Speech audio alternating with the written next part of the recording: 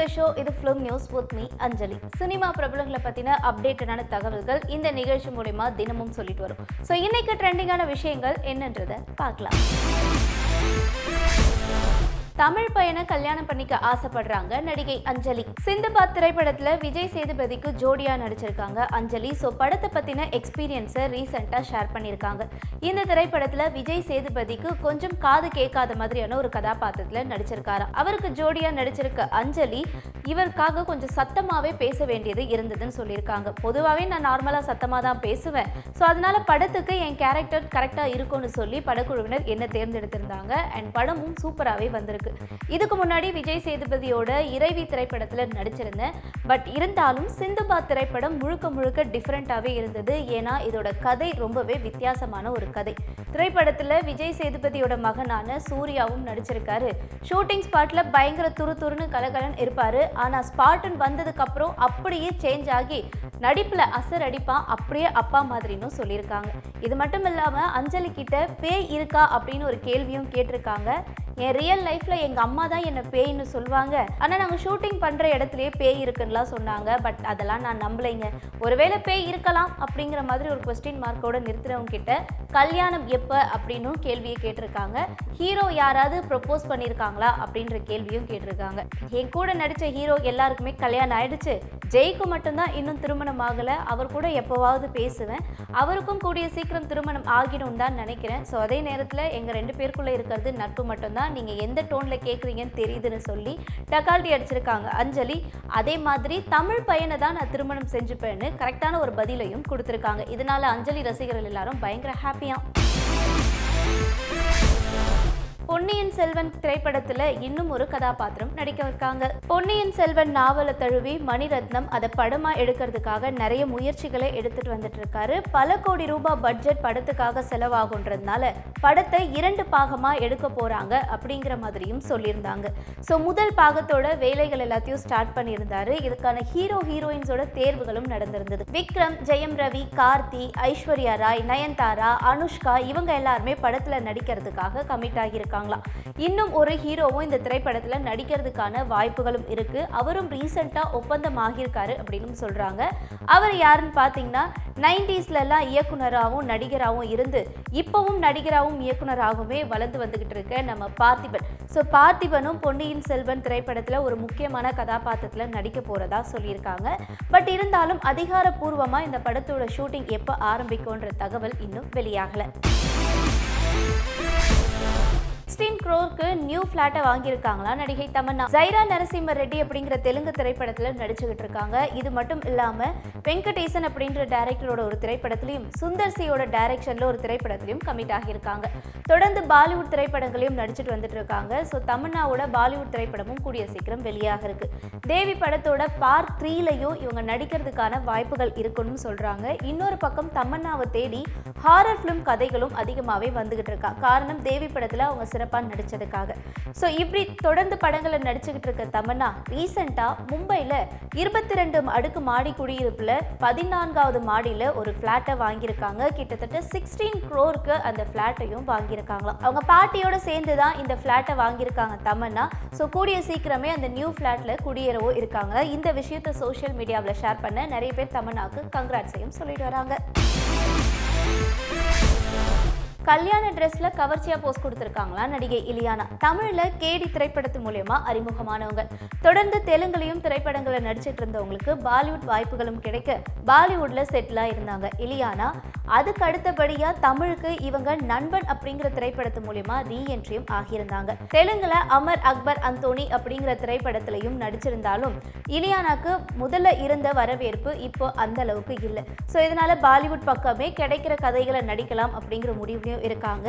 கேமராமேனான Andre அவங்கள தான் இப்போ இலியானா காதலிச்சுட்டு வந்துட்டு இருக்காங்க ரகசிய திருமணமும் ரெண்டு பேருக்கும் நடந்து முடிஞ்சிருச்சான் ரீசெண்டாக வெட்டிங் அஃபேர் அப்படிங்கிற ஒரு நாளிதழுக்கு கவர்ச்சியான போஸ்ட் கொடுத்துருக்காங்க. அதுவும் வெட்டிங் ட்ரெஸ்ஸில் ஸோ இந்த புகைப்படம் இலியானாவோட சோஷியல் மீடியாவில் ஷேர் பண்ண.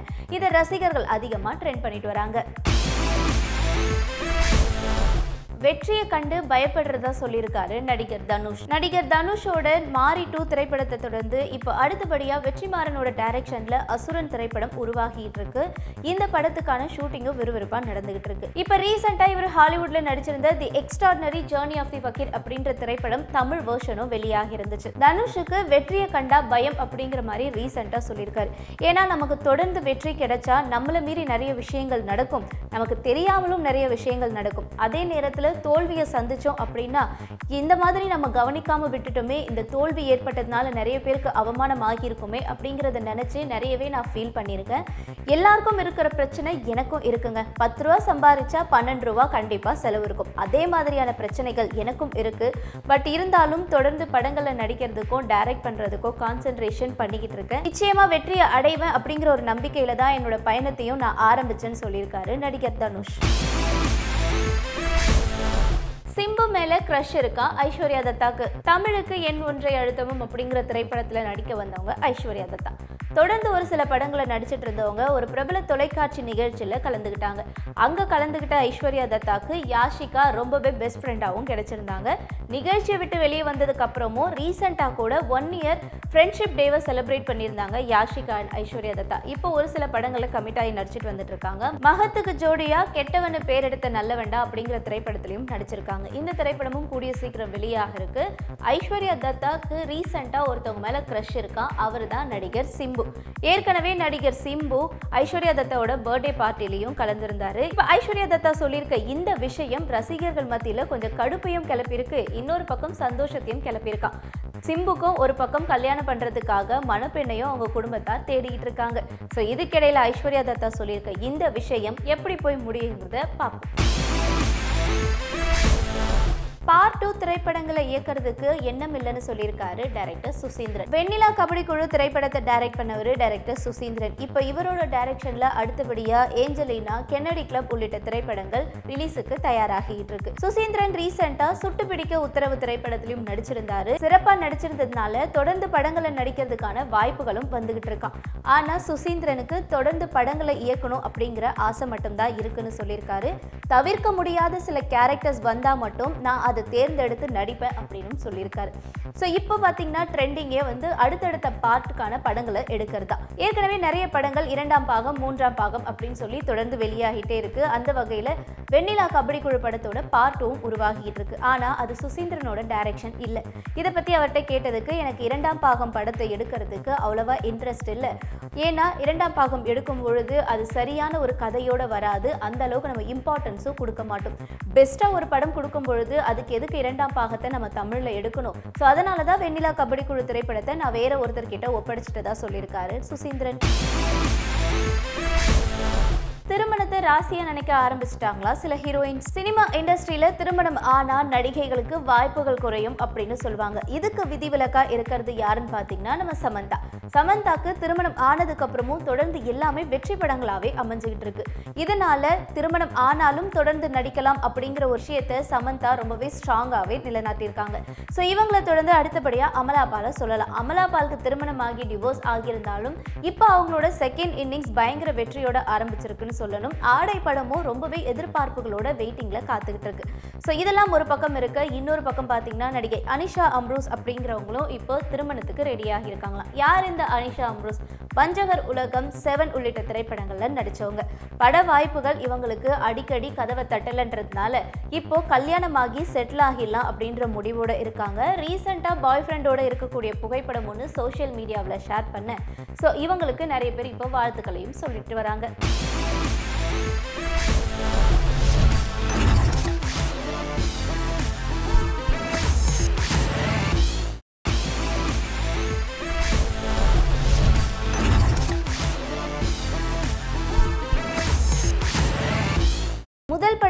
விலகிட்டாங்களாம் வாணி போஜன். பிரபல சீரியல் தொடர்கள்ல நடிச்சிட்டு வந்தவங்க வாணி போஜன். ஒரு சீரியல்ல பயங்கர ஃபேமஸ் ஆன இவங்களுக்கு தொடர்ந்து படத்துல நடிக்கிறதுக்கான வாய்ப்புகளும் வர ஆரம்பிச்சது. வாணி போஜன் ஒரு பிரபல மாடலும் கூட. ஸோ இவங்க பார்த்தீங்கன்னா ரீசெண்டாக லோகேஷ் குமாரோட டைரக்ஷனில் ஒரு திரைப்படத்தில் கமிட் ஆகியிருந்தாங்க. முதல் படத்தில் கமிட் ஆன வாணி போஜன் இப்போ ரீசெண்டாக படத்துலேருந்து விலகி இருக்காங்க. இதுக்கான காரணம் படத்துக்கான கால் ஷீட்டு சரியாக கொடுக்க முடியல அப்படிங்கிறதுனாலையும் இன்னொரு பக்கம் வைபவோட ஒரு திரைப்படத்திலையும் விஜய் தேவாரகொண்டா தயாரிக்கிற ஒரு திரைப்படத்திலையும் வாணி போஜன் நடிக்கிறதுக்கு கமிட் ஆகியிருக்காங்க. ஸோ இப்போ வாணி போஜன் இந்த திரைப்படத்திலிருந்து விலகிட்டதுனால இவங்களுக்கு பதிலாக வேற ஒரு கதாநாயகியை படக்குழுவினர் இப்போ ரெடி பண்ணியிருக்காங்க. விஜய் தேவரகொண்டா ரசிகைகள் இப்போ பயங்கர ஷாக்கிங்ல இருக்காங்க.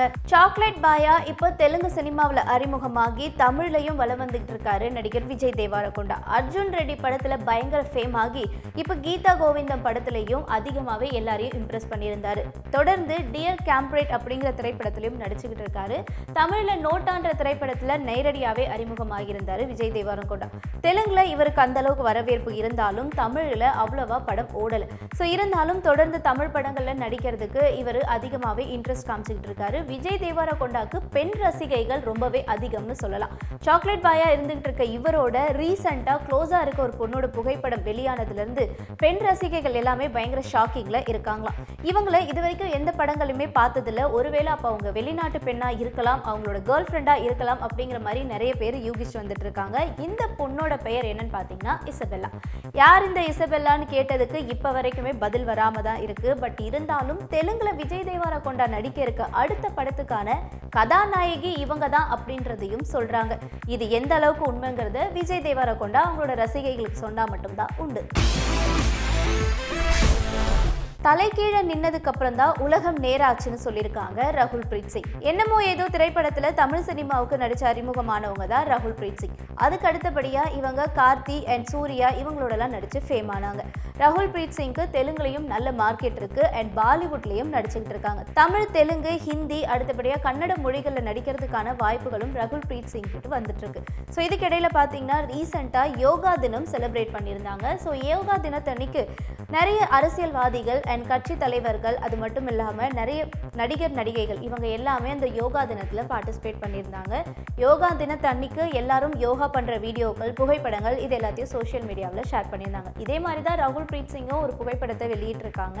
தன்னோட வீட்டில் மேல் தளத்தில் கயிறை கட்டி அந்த கயித்துல தலைக்கீழே தொங்குற மாதிரி யோகாசனத்தை செஞ்சுருக்காங்க. இதை அனுஷ்காவால தான் நான் செய்ய ஆரம்பித்தேன் அப்படின்னு சொல்லியிருக்காங்க. ஆரம்பத்தில் யோகானா எனக்கு என்னன்னு கூட தெரியாது. பட் இருந்தாலும் அனுஷ்கா சொன்னதுக்கு அப்புறம் தான் யோகா யோகா கிளாஸ்க்கு போக ஆரம்பித்தேன் யோகா கற்றுக்க ஆரம்பித்ததுக்கப்புறமா மன அமைதி தூய்மை இது எல்லாமே எனக்கு கிடைச்சது. நான் எப்போ யோகாசனத்தை தலைகீழாக நின்று பண்ண ஆரம்பிச்சனோ அப்போ தான் என்னோட உலகம் நேராச்சுன்னு சொல்லியிருக்காங்க ரகுல். பிரபல பாடகியோட திருமணம் செஞ்சுக்க இருக்காரா?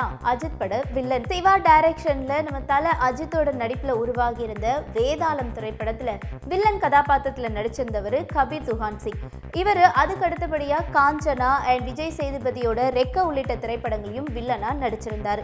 கபீர் துகான் சிங் பாலிவுட் திரைப்படங்களையும் நடிச்சிட்டு வந்துட்டு இருக்காரு. ஸோ இவருக்கும் அண்ட் பிரபல பாடகி ஒருத்தவங்களுக்கும் இப்போ ரீசெண்டாக திருமணம் ஆக போகுது அப்படிங்கிற தகவல் வெளியாகிருக்கு பிரபல பாடகி டோலி சிந்து. இவங்க இப்ப மணப்பெண்ணா மாற இருக்காங்கன்றத விஷயம் கேட்டதுமே ரசிகர்கள் எல்லாருமே பயங்கர சந்தோஷத்துல இருக்காங்களாம்.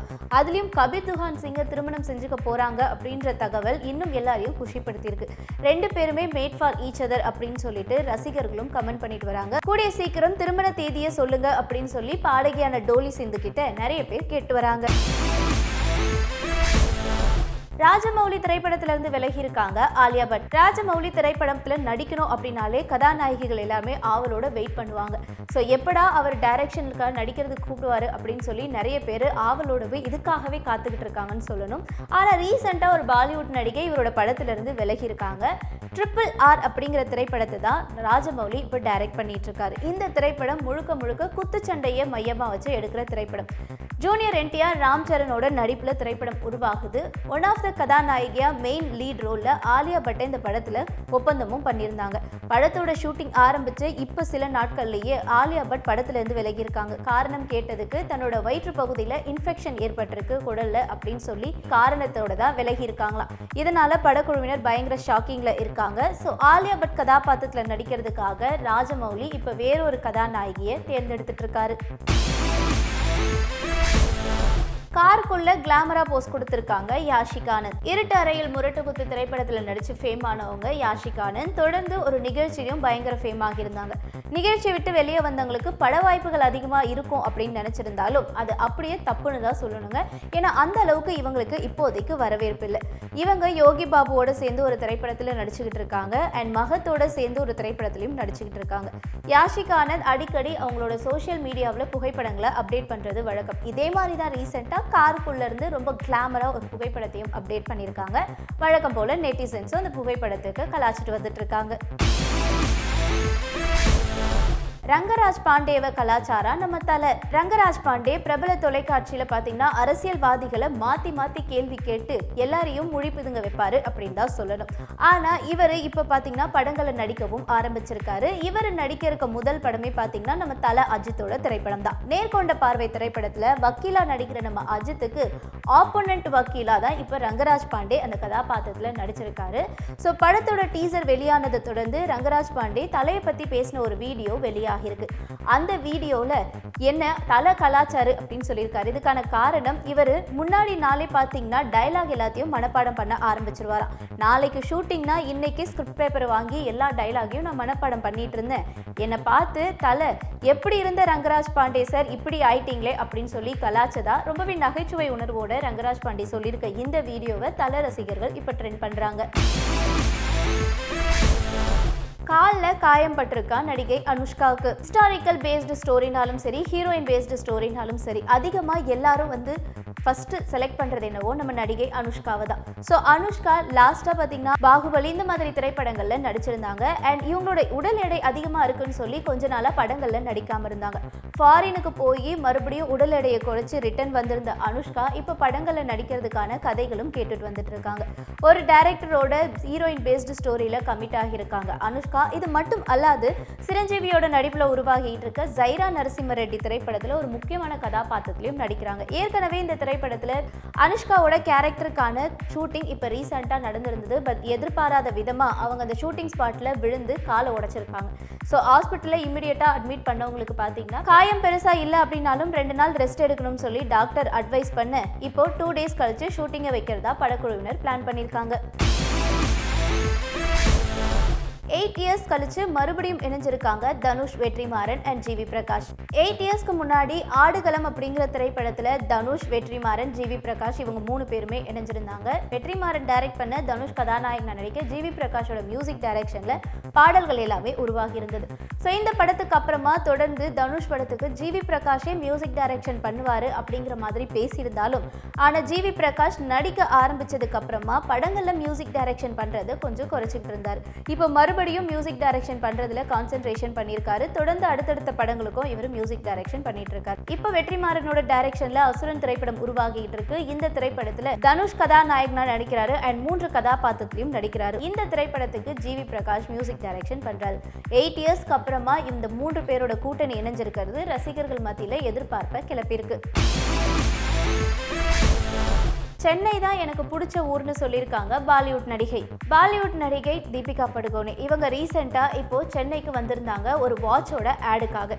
இந்த வாட்சோட விளம்பர ப்ரொமோஷனுக்காக வந்திருந்த தீபிகா படுகோனே சென்னை நகர வாசிகள் தான் தனக்கு ரொம்ப பிடிச்சவங்க அப்படிங்கிற மாதிரி சொல்லியிருக்காங்க. இதுக்கு முன்னாடி போன வருஷம் சென்னைக்கு வந்திருந்தேன் அதோட இப்போ தான் வரேன்.